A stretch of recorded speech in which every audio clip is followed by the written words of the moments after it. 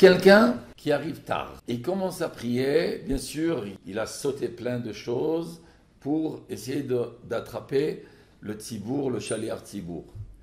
Et en plein psuké des Imra, il se rappelle qu'il n'a pas dit ni Birkot à Shachar, ni Birkat à Torah.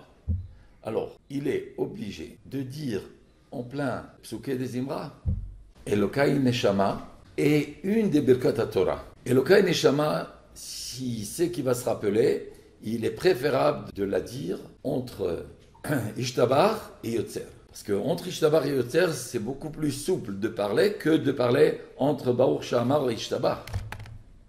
C'est pour cette raison qu'il y a une discussion. Si quelqu'un est parti aux toilettes et il se rappelle qu'il n'a pas dit Asher Yatzar dans le psuké des Imra, il est préférable de dire Asher Yatzar après Ishtabar, entre Ishtabar et Yotzer. Mais s'il a peur d'oublier, il a droit de dire dans le psuké des Imra, dire la, la bracha de Asher.